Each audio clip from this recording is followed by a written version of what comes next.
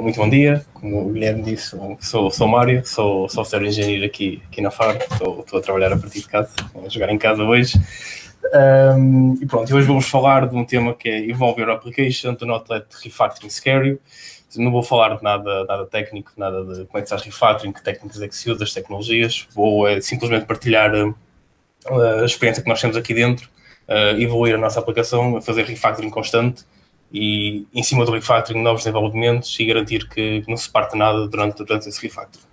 Pronto, mas antes de passar aí, vou querer só fazer uma perguntinha que é falar sobre Legacy Code. Quem é que aqui já trabalhou com Legacy Code?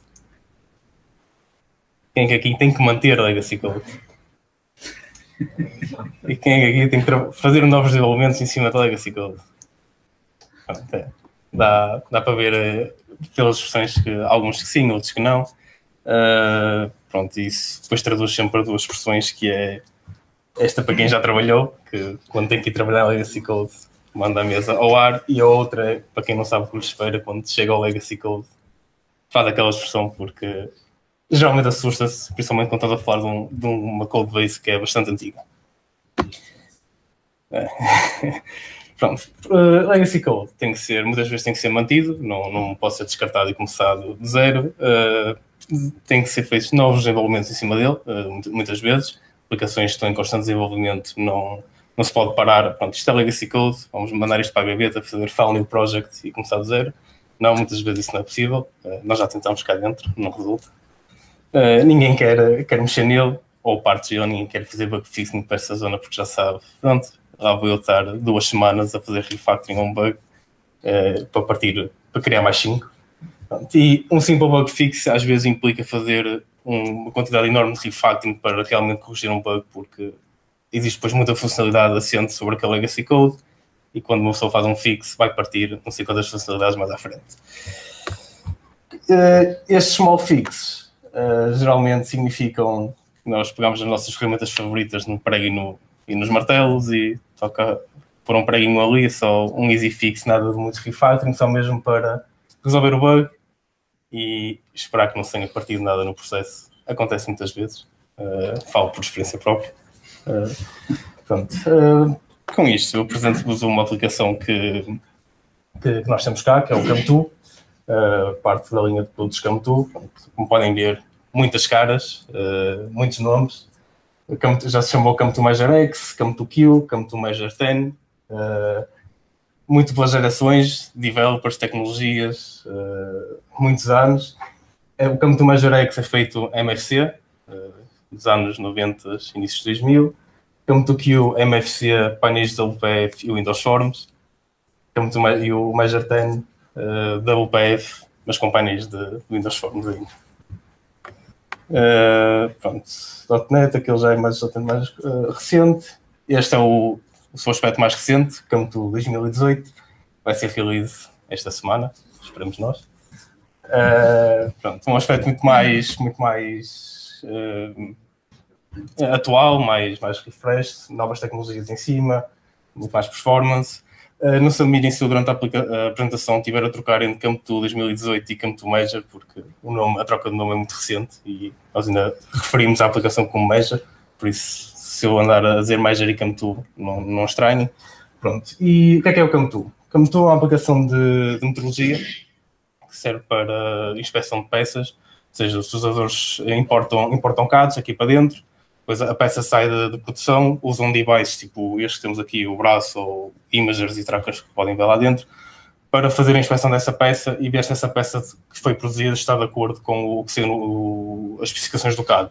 Se não tem material a menos, se tem material a mais, se, se as features, círculos e pequenos detalhes está tudo conforme o, o, um, o especificado pelo, pelos designers. Permite medição por contacto com, com esta arte produzida aqui ou por eh, sem contacto por eh, inspeção de laser através de point clouds. Ou seja, é uma aplicação que trabalha com uma enorme quantidade de dados, principalmente quando se trata de point clouds, estamos a falar de milhões e milhões de pontos uh, uh, em real time. Este, este aparelho debita 600 mil pontos por segundo quando está a fazer scan, por isso aquilo chega aos milhões em, em muito pouco tempo. Uh, pronto, e nós temos que lidar com esses, com esses dados todos, manter a performance sempre em real time, estar a fazer scan, a processar os pontos, a tratar os pontos, projetá-los para o CAD para ver se, se, a peça está dentro da tolerância ou não. Uh, pronto, e trabalhamos sempre com uma, com uma precisão na casa dos microns. Uh, sempre, portanto, estão a ver que a diferença de um micron para cima e para baixo pode fazer a diferença entre a peça ir para o lixo ou continuar o seu sair, sair por fora da fábrica. Pronto. Uh, o bom do Camtu é líder de mercado em metrology software, existe há mais de, de 20 anos, pelos nomes todos que vocês viram. A cada release está a evoluir, né? novas features, novos bug fixings, novos enhancements, melhor performance. Pronto, e, e, como as aplicações têm uma coisa bom, existe depois a contrapartida que é o não tão bom. É bom na mesma, não é mau. É isso diferente. Pronto. Uh, o não tão bom é que nós chegamos a um ponto em que novas features estavam a ser cada vez mais difíceis de desenvolver, porque seja, nós tínhamos uma codebase com 20 anos uh, de existência, constante evolução, módulos a ser construídos em cima de módulos, sempre um em cima do outro, e este funciona mal, todos vão funcionar mal. Funciona mal? Não funciona mal, funciona não como nós queríamos, principalmente depois tudo por lá acima. Uh, e uma feature que parecia simples deixou de parecer simples e passou a ser bastante complicada porque muitas exigiam já bastante refactoring e esse refactoring ia exigir outro refactoring e outro refactoring e outro refactoring e uma pessoa demorava mais que uma realidade a fazer uma feature se é que ia, ia terminar a tempo.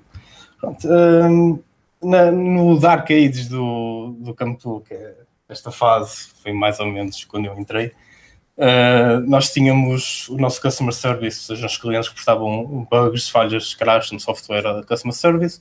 O customer service vinha chatear-nos: olha, o cliente encontrou este bug. Ah, realmente é bug, toca, toca a registrar. E como podem ver neste gráfico, nós tínhamos mais bugs a serem reportados do que aqueles que conseguimos resolver. Nós resolvíamos um bug e estávamos a partir a criar mais dois, e depois, meus amigos, isto, isto deixou de funcionar. E, uma, e, eventualmente um mês ou dois meses à frente o bug original voltava a aparecer na pipeline para nós o regimos novamente. Loop, e era um, never stop the loop, como costuma dizer. Pronto. Arranjávamos um bug, criávamos dois ou três, o processo normal da coisa. Pronto. Nós chegámos a um ponto que deixámos não, não queríamos mais que isto fosse normal, não é? é não é de todo normal uma pessoa criar um bug e estar constantemente a corrigir o mesmo bug, eventualmente. Portanto, decidimos parar isso. chega desta situação, chega de estar sempre a corrigir o mesmo bug. Portanto, vamos fazer, uh, tomar medidas para que isto, isto não deixe de acontecer. Portanto, e tomamos, decidimos coisas, coisas simples como acabou, acabou os easy fixes, só guardamos o, os pregos e os martelos, de vez em quando ainda os vamos buscar quando é mesmo preciso. Naquela, naquelas classes que o, único, o último histórico que nós temos é de 2011, que diz migração do, do DFS Server, portanto, é, são muito, classes bastante antigas. Um, pronto, e não fazíamos edifixes, quando passássemos por uma classe que víssemos refactors uh, simples e que eram visíveis já olha, eu estou a precisar de levar refactoring. Nós fazemos esse refactoring, coisas simples como manter o fecheiro ReSharper Green, para, para quem usa ReSharper. ReSharper analisa o fecheiro e marca se ele está verde de acordo com as regras que se defines, ou, ou vermelho se tiver erros, ou amarelo se tiver melhorias. Nós tentávamos manter sempre, sempre amarelo. Havia situações em que sempre verde, é? manter amarelo.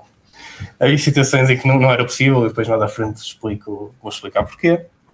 Pronto, e decidimos, decidimos estas coisas simples uh, como, como a base de developers. Depois pegámos também na nossa equipa de QAs e, uh, decidimos tomar outra medida que é, bom, para cada bug de customer report que estava a entrar, uh, criámos, um, criámos um teste de automação. Assim garantíamos que se alguém partisse novamente aquele bug, o teste ia passar, portanto uh, o bug não era, não era fechado enquanto o, o outro bug não tivesse sido resolvido. Pronto, os, os nossos QAs entusiasmaram-se e gostaram disso. Nós, entretanto, também fizemos uma frameworkzita muito rápida para facilitar os desenvolvimentos de testes e como podem ver por este gráfico, entre o início da iniciativa e a release, que foram dois, três meses, os testes foram de zero a, mil, a quase 1200 testes de automação.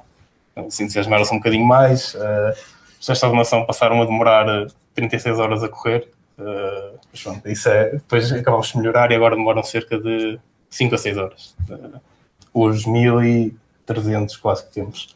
Pronto, e, e, como podem ver depois os, uh, o, o acréscimo dos testes diminuiu, não é? Há quem diga que os QAs ficaram preguiçosos, não, não, não foi isso que aconteceu. O que realmente aconteceu é que depois de termos os testes de automação e temos tomado a iniciativa, uh, com base nos 10 mil clientes ativos que nós temos diários, uh, são 10 mil, cerca de 10 mil, o número de bugs começaram a ser reportados desceu para, para zero. Ou seja, aquela linha vermelha que haviam inicialmente veio cá para baixo e a verde começou a subir e atualmente ela mantém-se sempre cá em baixo e a nossa verde sobe cada vez mais. E temos alguns bugs em aberto, óbvio, mas vão-se vão -se resolvendo. Uh, pronto, também adicionamos Remote Login Crash Detection. Alguém tem uh, algo assim parecido? Uh, não? Pronto, um, nós fizemos, todo, nós já tínhamos logs, log files, que, eram, que, diziam tudo que a aplicação estava a fazer. Portanto, começámos a, a, expor isso para, para a cloud, para termos nós acesso cá dentro. Ou seja, como é uma aplicação desktop, eu acho que não referi isso. Uh, não é imaginar, são múltiplas estações a trabalhar ao mesmo tempo, nós não temos controle sobre, sobre quem é que está a usar e como é que estão a usar o software, por isso usamos remote logging. Quem uh, entrar no programa de Customer Experience e autorizar que as SOCs sejam enviados, são enviados para, para a cloud e nós aqui temos acesso e vamos vendo os crashes que estão acontecendo, nós vamos recebendo notificações e realmente quando a aplicação depois crasha de um, uma exceção eh, inexpectável e a aplicação fechou, temos também crash detection, ele gera uma série de reports, incluindo os últimos logs, ou logs do Event Viewer, envia tudo para cá, nós temos acesso e vemos uh, o que é que realmente aconteceu. Uh, com isto, uh, chegamos ao ponto de começar a corrigir bugs antes dos clientes começarem a reportá-los em Customer Case. Nós monitorizávamos o crash detection, monitorizávamos o, o, remote logging e realmente quando víamos uma exceção, olha, este cliente aqui uma exceção, isto é um easy fix, pronto, vamos corrigir. E chegamos ao ponto de alguém chegar em Customer Service ah, um cliente tentou este bug e nós já está fixo na próxima release. É, foi, foi um grande achievement para nós, porque poder dizer que, olha, este bug que tu reportaste, nós já o corrigimos, já o detectámos, uh, isto para bugs externos, bugs internos eram, não entravam por esta pipeline. E com isto, bugs reportados próximo de zero, detectar crash antes dos clientes reportarem, estávamos todos prontos para vamos começar a fazer o refactoring que queremos, uh, realmente com uh, pôr a aplicação ainda melhor. Pronto, isto é tudo muito bonito se isso fosse possível, porque, como referi há pouco, líder de mercado, se deixarmos de desenvolver novas features, vamos perder terreno, e se perdemos terreno, perdemos dinheiro, portanto, não pode ser. Portanto, tínhamos que engatar o refactoring juntamente com novos desenvolvimentos um, em cima e garantir ao mesmo tempo e simultâneo que não se vai partir nada no processo. Pronto, e antes de avançar mais um bocadinho, vou falar só sobre o, release cycle da, da, do, do Camtu, porque para nos afetar a, a, forma como nós íamos começar a fazer refactoring. Bom, até recentemente, o release cycle, recentemente, há um ano atrás, dois anos, eram duas major releases por ano, cada major tinha novas features, novos enhancements, e uma minor release a cada mês que só tinha, continha bug fixing. Pronto, nós, depois de ter esta iniciativa, esta iniciativa começou há dois anos, dois anos e meio, uh, aproveitámos todas as major releases para realmente, pronto, se temos seis meses, imaginemos, para lançar o software, fazer estas features, vamos fazer o refactoring juntamente com as features, e se entretanto partimos alguma coisa, a nossa incrível equipa, equipa de QA vai apanhar e nós vamos corrigir a tempo e, e é resultado, e, e tem vindo a resultado. Nós partimos, eles detectam, nós corrigimos e conseguimos ter o refactoring, novas funcionalidades e ainda enhancements que não eram, que não eram previstos no, no planeamento da release nas minors evitámos fazer o refactoring porque só queríamos bug fixing, não queríamos bug enter. Era... Até que alguém chegou à nossa beira e, ah, meus amigos, vamos, vamos fazer continuous deployment. E nós, pronto, uh, ok, tudo bem, uh, vamos, vamos, vamos. Claro que continuous deployment é espetacular. Uh, se quiserem saber mais como, como é que nós fazemos continuous deployment em desktop applications, vejam a aplicação, a aplicação, a apresentação que o Miguel e o Zé deram na última, última reunião do NetPonto. Uh, eles explicam como é que nós estamos a processar isto. Pronto. Uh, continuous Employment envolve outros cuidados a ter no, no refactoring. Né? Já não podemos partir uma funcionalidade, fazer o refactoring e arriscar partir funcionalidades porque Continuous Employment está logo no, no cliente e o cliente depois vai estar -se constantemente a queixar. E voltamos ao, ao, que, ao que era há uns anos atrás e não é isso que, que queremos. Um, pronto, uh, estando o, o Camtu introduzido, o que é que funciona o Camtu, como é que ele funciona, os problemas, é problemas, as undocumented features que tem, um, e vamos agora falar um bocado sobre a solução que nós arranjamos para fazer refactoring e ao mesmo tempo fazemos novos desenvolvimentos. Eu vou só falar sobre três áreas que achei que eram mais, mais interessantes, que é a nossa persistência, o nosso domínio e o, e o refactoring dos serviços que, que, que englobam o domínio. Pronto, estas são as três áreas que achei mais interessante trazer-vos hoje aqui. Pois existem mais, isso pode ser depois outra, outra apresentação ou não. Depende de como queirais. Um, já, já agora, antes de continuar, alguém teve já fazer assim um refactoring do zero, uma, uma aplicação? Não? Nunca. Pronto vou ter que fazer, vou ter que criar testes unidades. Ah, tá eu tenho a solução para ti já, já a solução. Isto, isto foi a solução que nós achámos que sim, engloba mais ao nosso caso, e que, mas também cobra isso que, acho de perguntar. Começando pela, pela persistência. Como é que funciona a persistência no, no Camtu? Camtu é uma aplicação de document base, seja, o utilizador abre, tem um documento pronto a abrir, pode abrir documentos que já guardou, e nesse documento tem tudo o, o, que lhe interessa realmente. Uh, o CAD que importou, as inspeções que fez, as medições que tirou, os, os reportes que gerou, essa peça estava pronta para ir para shipping ou para voltar para a forja para, para ser reconstruída.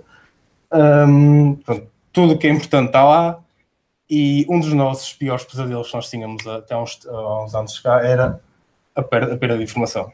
Nós muitas vezes tínhamos um, um customer report uh, um Customer Service Report a entrar.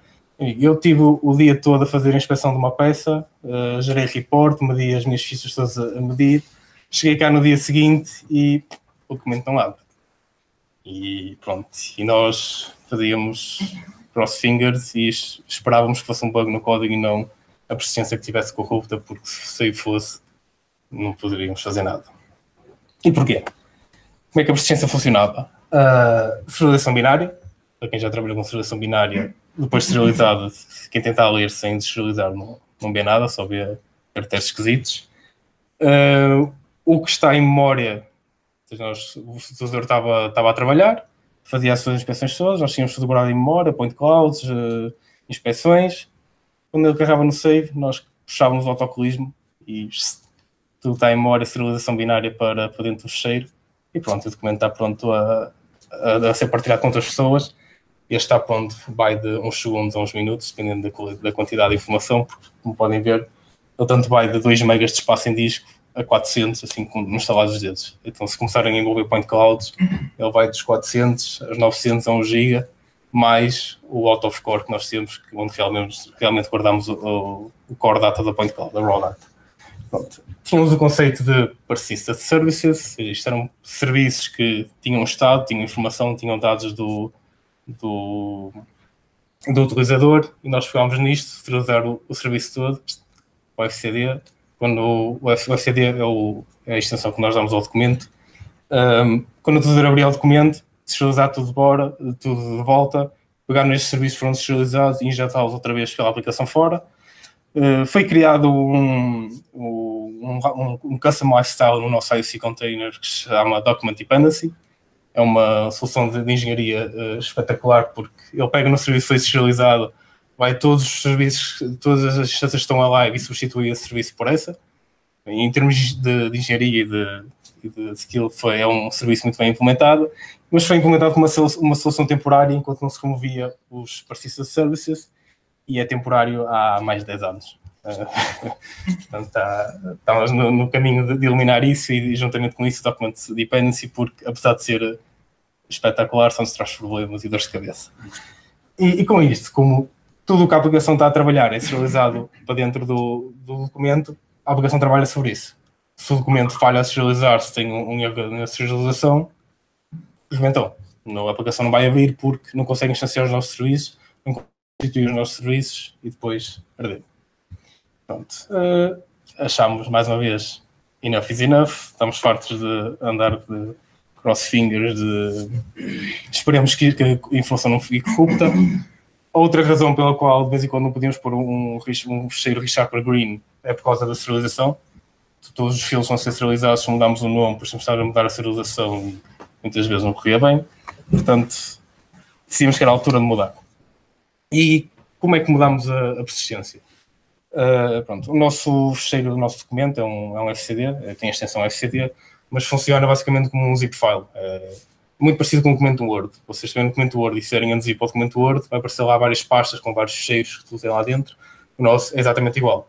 Tem um, é uma, como se fosse um ficheiro zip com múltiplas streams lá dentro e uma pessoa mete para a stream o que quiser e aquilo se realiza e no fim compacta tudo e temos um ficheiro. Uh, pronto, nós decidimos aproveitar essa infraestrutura, porque também não podemos dizer a partir dos clientes, olha, a partir desta versão, em vez de guardarem um FCD, estão a guardar um ficheiro XPTO e não abrimos o anterior. Também não é uma opção, por isso temos que fazer isto progressivamente, mantendo sempre a mesma extensão, a mesma estrutura de ficheiros.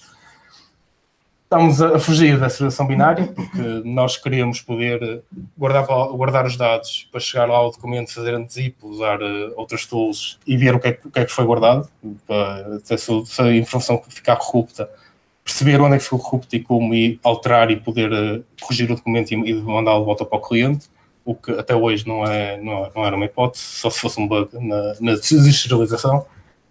Uh, e estamos a migrar os dados estavam a ser serializados em, eh, em binário para o novo formato de serialização.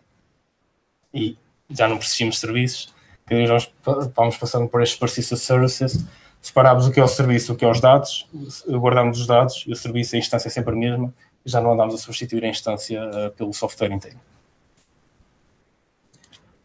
Para isto, estamos a usar, uh, começamos por usar SQLite, uh, para guardar os dados, tirar os dados de seleção binária e pô-los numa base de dados SQLite.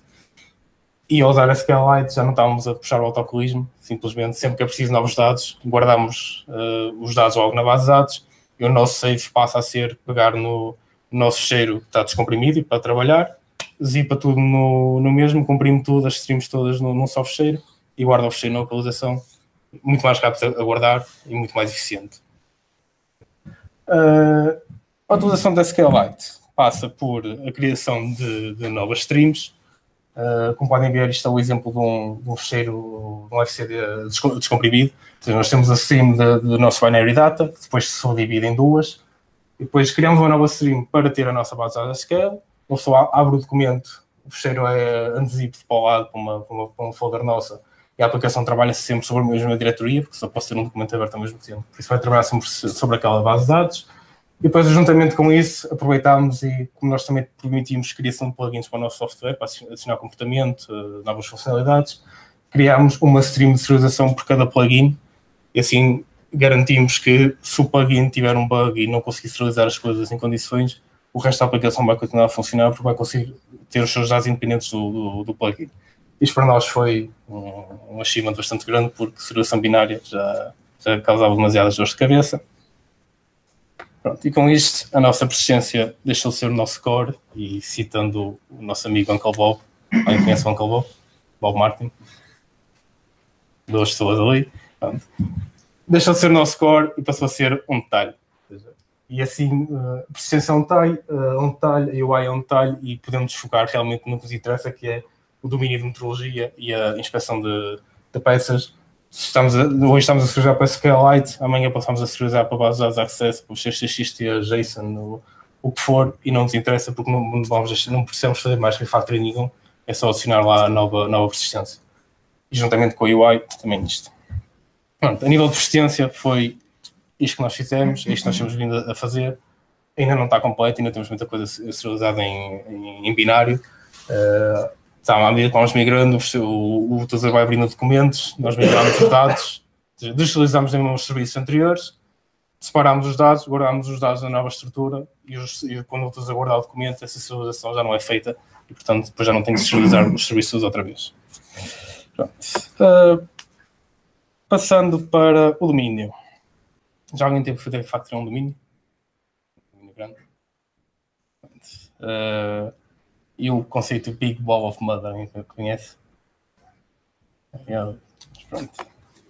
Isto é uma Big Ball of Mud. Ah, um, isto não é o domínio do Major, é só uma representação de.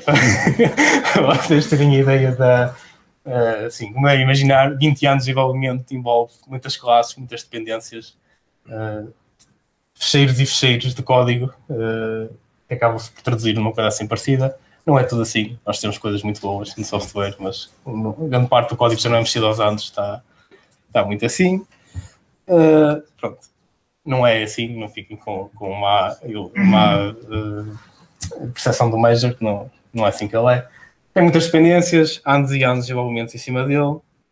Fazer testes unitários, como devem imaginar, com aquele gráfico de dependências é, é bastante difícil. Temos código muito antigo, muitas dependências que nunca estão a ser usadas, mas que lá estão. E estar a criar testes unitários para aquilo demoramos mais tempo a fazer o setup do teste do que realmente a criar o teste e a, corrigir o bug. E também não queremos ter testes que só estão a cobrir aquilo que já está mal. Portanto, isso não traz valor nenhum ao, ao código. Nós queremos realmente ter testes unitários que, que nos permitam dizer que partimos alguma coisa, não. Olha, isto deu erro porque sim, porque já dá erro aos anos e só agora é que conseguimos apanhar porque vamos lá um teste. Uh, pronto, e mesmo com base naquele domínio todo gigante, naquelas dependências todas, nós não podemos parar o desenvolvimento de novas features e começar uh, a fazer refactoring aquilo tudo para ter um domínio organizado. não é uma opção para nós, por muito gostássemos que fosse, não é? Uh, pronto, o domínio está espalhado pela solução, temos duas grandes soluções que fazem parte do campo duas soluções gigantes, são megas e megas cheios, está tudo, ou seja, aquele, aquele gráfico que eu mostrei há um bocado, ter UI, domínio e persistência, em que UI e persistência é um detalhe, uh, não acontece aqui, está tudo misturado, nós temos domínio misturado com UI, UI misturado com domínio e persistência. Uh, pronto, estamos a, a fugir disso, realmente a fazer um refactoring por aquilo como nós queremos. Uh, como eu disse há um bocado, fazer file new project não é uma opção para nós, nós já tentamos, uh, e ao fim do mês voltamos todos para, para o Camp porque não podíamos esperar o desenvolvimento e fazer uma aplicação de zero igual ao que o Camtu tem atualmente, segundo as contas do Mythical Main Month, um, um single developer demorava cerca de 40 anos uh, a fazer, assumindo que não, que, não, que não introduz bugs e que não tem que os corrigir, fazer tudo direitinho. Vocês podem imaginar 40 anos é uma vida, uh, não faz mais nada. E isto dividindo pela equipa que, que trabalha atualmente no Camtu dá vai 20 anos, não, é não, não dá muito menos do, do, do que isso. Pronto. Uh, tendo estes problemas todos em, em, mente e sabendo que queríamos fazer refactoring, queríamos realmente construir, pôr o nosso domínio realmente num domínio, não sendo só umas classes de código para seguir uma, uma workflow, uma, uma execução do workflow. Nós discutimos sobre como é que como é que iríamos transformar a Big Wall of Mud, em que é que iríamos transformar, que passo é que, é que iríamos tomar. Pronto, e ao fim de algumas discussões chegámos à conclusão, à conclusão, chegamos a um compromisso que queríamos transformar aquilo naquilo. Alguém conhece aquele esquema? Aquilo é o que chama uma onion architecture, é uma arquitetura em camadas, é como se fosse uma cebola, se partir uma cebola ao meio, vão ver as camadas assim, e já sabem como é que funciona. A onion architecture, na sua camada central é o, é o domínio, é só, só domínio que tem ali, não tem mais nada, não tem conceito de UI, nem persistência, nem, nem nada que se pareça, é só domínio, é realmente o que interessa. A camada volta são domain services, uh, isto são serviços que suportam o domínio, ou seja, lógica demasiado complexa, que seja, que seja muito complexa e muito grande, tipo o domínio, vai para o domain services. Application services, vai basicamente gerir o workflow. E na camada mais externa temos os detalhes, como diz o Log, que é a persistência vai para aqui, a UI vai para aqui, testes unitários, e, e, o gráfico de dependências disto vai sempre de fora para dentro, nunca dentro para fora. Ou seja, o domain model não conhece nada, só se conhece ele mesmo Domain Services conhecem-se a eles e ao, e ao Domain Model e por aí fora, por aí adiante. Sendo que o Application Core é Application Service ao Domain Model, tudo o resto não nos interessa. Não queremos saber se é WPF, se é, se é Web, se é WinForms, se é MFC, isso não nos interessa para nada. Uh, e como, como é que transformamos isto naquilo? É imaginar pegar aqui num pontinho destes e transformá-lo numa coisa daquelas não é propriamente fácil, até porque nem dá para ver o que é que está aqui. Uh, pronto. E como é que nós decidimos fazer isto? Algumas discussões sobre como é que qual seria a melhor abordagem para o nosso caso. Seja, não podíamos simplesmente, olha, vamos puxar, fazer refactoring a isto e o resto que se lixe. Não, porque aquilo fica a funcionar bem, mas o resto da aplicação começa a estourar. Isso é uma hipótese. Por isso, decidimos fazer isto em, em, em duas fases. Uh, sendo a primeira, selecionar o componente que, que queríamos uh, isolar. Uma, a primeira fase é uma fase de isolamento. Vamos isolar este componente, módulo vertical ou o que, o que lhe quiserem chamar. Uh, nós internamente chamámos vertical, sendo que tentámos já isolar os verticais por bounded contexts. Puxámos o documento para o lado, o componente para o lado, e quando eu digo puxar é mesmo criar um novo projeto, dois novos projetos, uh, geralmente, um projeto UI, um projeto domínio e começar a puxar classes para lá. É, o refactoring como era conhecido internamente como o arrastão, arrastão Driven Development, fechar tudo para o, para o lado e mantínhamos exposto, uh, geralmente, porque apesar de, ele, eles estarem sempre uh, afastados, todos os outros componentes, todo o outro código, quando queria comunicar com ele, ia sempre o, os mesmos pontos de entrada. O que nós fizemos foi, puxámos aqui para o lado, mantivemos esses pontos de entrada como, como public, de acesso para todo o domínio que continuava a funcionar com aquilo, e todo o resto que ninguém tinha acesso, marcámos tudo mesmo como, internal, se ninguém tem acesso, ninguém, ninguém deve mexer, e portanto, sempre que tínhamos que mostrar alguma coisa naquela área, naquele componente, íamos ali, e se partíssemos era ali que estava partido, não era a classe Zé Miguel que estava a fazer uma ciganice por trás e que, estava a partir o, o, o domínio todo. Acontece muitas vezes. Uh, nós pensávamos que está tudo ok e de repente bem, uh, descobrimos que está a vir um evento do, da outra ponta do, do código. Ah, eu estou aqui a, a, injetar isto, portanto não podes tirar isto aqui para fora. Um, e depois pegámos no, pegámos no próximo componente, fazíamos o arrastão para o lado, mantínhamos a, API, uh, eh, definíamos qual seria a API de comunicação de, com esse componente e, mantínhamos, e o resto do domínio continuava a, a, manter essa API. E tendo isto pronto, uh, ou um ou vários componentes, podemos passar para a segunda fase, que é realmente o, o refactoring interno. Seja, nós depois já tínhamos isolado o que era a UI, o que era o, o domínio, o que era a persistência desse, desse, desse componente, estava na altura de pegar, começar a fazer refactoring e a transformar numa, em algo muito mais bonito que não esta salganhada toda que aqui estava. Estando, estando esse refactoring feito, o refactoring geralmente envolveria uh, troca de tecnologias, troca de como é que aquilo funcionava, por isso uh, iria existir, existe uma nova API de comunicação com aquele componente. A API antiga expõe o, o que expõe hoje em dia, nós há algumas coisas achamos que expõe mais, outras expõe menos, portanto queríamos mudar isso e até mesmo a forma como é que, como é que expunhamos essa API, o que é que fazia parte dessa API. As, as antigas é geralmente interfaces, nós naquela queríamos, queríamos mudar isso. Pronto. Tendo um refactoring interno de cada um dos componentes feito, e se eles comunicassem entre si, este, este componente antes comunicava com este através desta, destas public APIs, estando os dois feitos refactoring, eles começam a comunicar diretamente entre si uh, com a nova API. Isto sucessivamente, os componentes fora todos, até que estas API, APIs deixariam de existir eventualmente, porque começámos a trazer para as novas e estas vão desaparecendo. Um, pronto, mantínhamos a, a, a, interface, mudávamos a implementação para lidar com o novo domínio depois refactoring, e o resto do domínio continuava a fazer tudo e continuámos todos em verticais, todos, tudo, tudo separado, tudo isolado, tudo refactor, a API antiga acaba por desaparecer. Uh, Passando à parte dos serviços, que é o refactoring do, do componente em si, como é que nós fazemos refactoring num componente que não podemos partir nada, que envolve imensa matemática, imensos cálculos, uh, principalmente quando estamos a falar de point cloud, extração de, de features dessa point cloud, é, é algo que, como eu disse, trabalhamos na casa do, dos microns e ah, ordenamento para cima, ordenamento para baixo, está tudo o mesmo. Não dá. É, nós temos que garantir que para todos os dados de entrada vamos ter sempre os mesmos dados de saída. E como é que garantimos isso? Fazendo refactoring ao, ao componente interno. Pronto. Como uma primeira fase, criámos testes de integração, ou seja, definimos o que, é que era o ponto de entrada e o ponto de saída desses componentes e pusemos testes de integração e assim garantíamos que para todo o porco que entrasse aqui, o chouriço era sempre o mesmo. Para quem conhece a expressão entra porco sem chouriço, uh, nós usamos essa, essa expressão cá dentro. Uh, e isso garantimos que, que os testes de integração garantem-nos que, por muito refactoring que nós façamos aqui, o, o output vai ser sempre o mesmo. Nunca vamos partir nada de software. E, portanto, o, os, os 100 microns vão continuar a ser os 100 microns uh, que eram anteriormente. Tendo os testes de integração, integração criados, estava na altura de gastar aquilo para o lado e vamos começar realmente a fazer o refactoring. E aí sim já podíamos fazer refactoring com unit testing a sério, unit testing que nos tragam, tragam valor, não unit testing só para, como costuma dizer, para unit testing de code coverage, porque isso não traz, não traz valor nenhum. Um, não estão a testar nada, estão só a garantir que uma métrica aparece a 100% verde. Muitas vezes temos que andar a fazer nisso para garantir essa, essa métrica. Mas isso é uma, é uma discussão para outra apresentação. Pronto.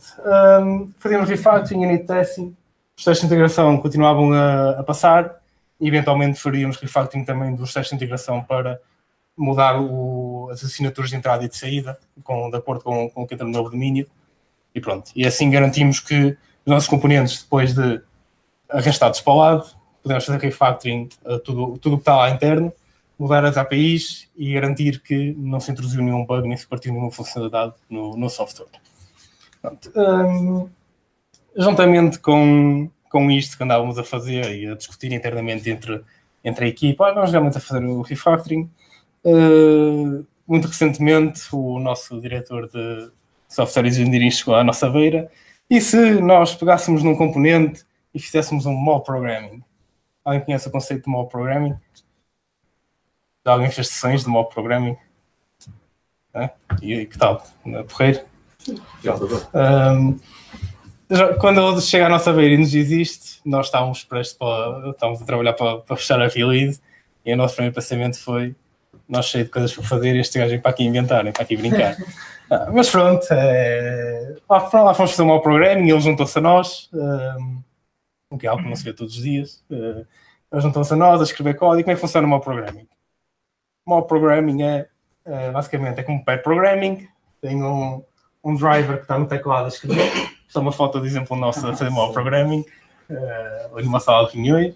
Ou seja, o driver está no portátil a escrever e está a projetar o código para o, para o, para o projetor. E depois estão os, os outros navigators ou os que mandam postas de pescada para o que está a escrever. Uh, a vier e a dar opiniões e pronto. O driver está 15 minutos escrevendo teclado, ao fim de 15 minutos salta fora da cadeira e passa para lá o próximo.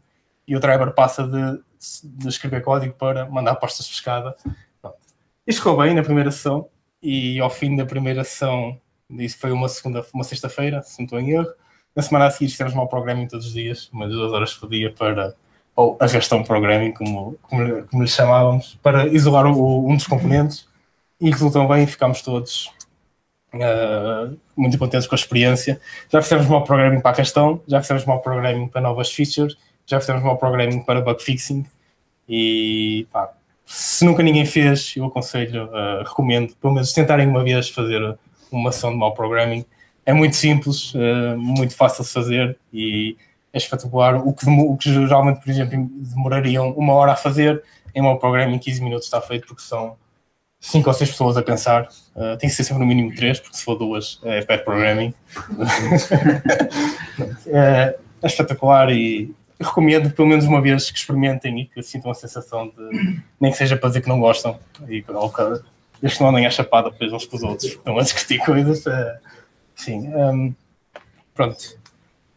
pronto. E com isto, uh, com, com a, experiência que nós temos tido aqui dentro do Campo a fazer o refactoring, uh, continuar com novos desenvolvimentos, como é que estamos a atacar a parte de refactoring. Isto juntamente com novos desenvolvimentos, claro que aqueles refactorings todos, aqueles espaços que nós, nós estamos a fazer, é tudo incremental. Nós não fazemos aquilo tudo uma só vez, é começamos por um, bocadinho, reservamos sempre um, um espacinho no sprint ou um espacinho juntamente com uma história para fazer esse, esse refactoring. Geralmente temos reservado duas horas ou mais por semana para fazer o programming e fazemos o refactoring e programming. Pronto. E espero que toda a gente tenha ficado a gostar do Legacy Code e de fazer refactoring Legacy Code. Se não gostaram, eu posso apresentar outra vez a ver se gostam. Ficam a gostar. Ah, mas sim, eh, não devem ter medo de fazer, de fazer refactoring, apesar de ser que o Legacy Code é. Oh God, why? Porque é que eu, porque tive que ser eu a fazer isso? Ah, mas uh, aprendem muito com Legacy Code e quanto mais não seja a como não fazer código. Existe sempre os lados da moeda e fazer refactoring, saber como é que vão fazer refactoring, como é que vão avançar para, para refactoring, é um, bom, é um bom processo de aprendizagem, permitem uh, aprender muito, tanto das aplicações que estão a trabalhar, só se forem esporadicamente fazer um bug fixing, ficam a conhecer essa aplicação muito, mais, muito melhor e também envolve as vossas skills como developers, pelo menos essa é a nossa experiência, a nossa uh, opinião cá. Pronto. Para quem gosta de ler durante a cama, durante, antes de ir para a cama, durante a cama. Tenho aqui umas, umas sugestões de, de, livros, tinha mais, mas não me cabe tudo aqui no PowerPoint. Uh, mas sim, eu recomendo ler esses livros todos, está, são muito bons. Uh, quiser depois mais sugestões, também tenho.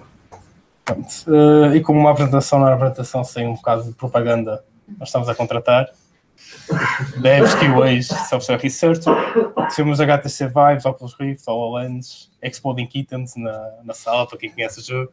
Uh, e pronto. E meu lado é isso. Questões? Também tem? Um de cada vez. Uh, Falavas que uh, a performance é muito importante, não é? Manter. Sim. Os vossos testes de integração fazem testes baseados em. Uh, temos alguns, mas muito poucos. Porque geralmente a nossa performance é performance em real time e tu precisas estar a, a manusear um braço para, para testar essa performance. Os testes de performance geralmente são todos uh, manuais. Não, só processos de, uh, de cálculos. De, geralmente, pronto, já terminei, já fiz a minha inspeção, vou agora alinhar a minha point cloud com a minha peça, o meu CAD. Alinhar é trazer a point cloud para o espaço de coordenadas do CAD e ele projetar aquilo é um processo bastante, bastante muito custoso e requer muitos testes, muita, envolve muita matemática. Temos alguns testes de performance sobre isso, mas é expectável sempre que demora uns segundos a uns minutos, dependendo do, do nível de quantidade de dados.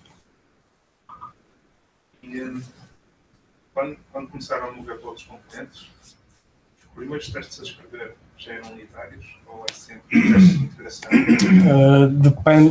de- é, Não de- se sentido. Sim, depende sempre um bocado da área que, que estamos a mexer. Se for uma área que para fazer um teste, nós começamos a fazer um teste unitário. Se eu não consigo fazer teste unitário com isto porque o gráfico de dependências não me permite. Pronto, aí não fazemos testes unitários, fazemos testes de, de integração. Se for outra área que, que seja mais recente, nós temos áreas boas, bastante áreas boas. Eh, aí sim já fazemos testes unitários, nas que não têm ainda. Eh, e, e depois sim fazemos testes de integração ou não, dependendo do, do cenário que é. Geralmente os testes de integração é, no, é quando envolve muita matemática, de olha, tenho este conjunto de dados, eu sei que ele tem que me retornar isto, aí sim fazemos testes de integração, porque essa área é uma área bastante antiga, já vem desde o tempo do campo do Major X, desde 98.